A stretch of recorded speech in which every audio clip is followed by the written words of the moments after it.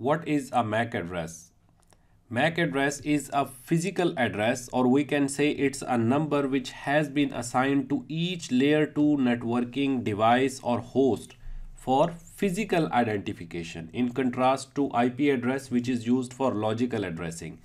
MAC address on the other hand is used for physical identification of a device usually on local area network. MAC address of a device can never be changed. For example, if there is a Cisco switch and it ports, its ports have been built with a specific MAC address or there has been a laptop which has a network interface card of course this is going to have some MAC address right in hexadecimal let's say 00000c something so this MAC address is burnt. It is hard coded at the time of manufacturing of this network interface card and this laptop. And for the whole life of this laptop this address is going to stay with it. It can never be changed. Right? It's very important point. Ip address it keeps on changing. For example in the morning maybe when you connect this laptop in your office Wi-Fi so you might get an IP address maybe this one in your office. When you come to your home in the evening then might be this IP address will be changed and you will get a new IP address from your home Wi-Fi router which could be like this this black one. In the next morning again it will change to this. So IP address keeps on changing while the MAC address it stays same for the rest of the life of the device or port.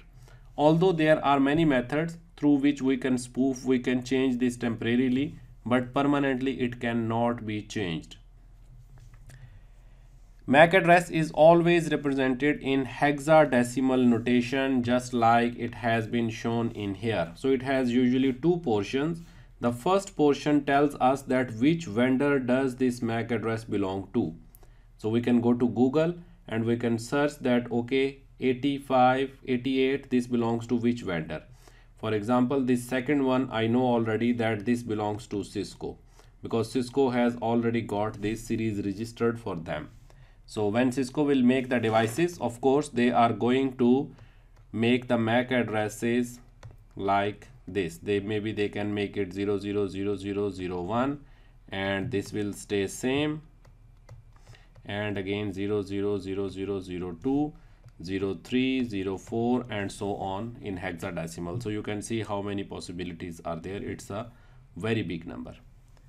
These are some of the important points about MAC address. Let me ask you a quick question. Can somebody tell me please write your answer in the comments below. Can somebody tell me what is the vendor prefix for Juniper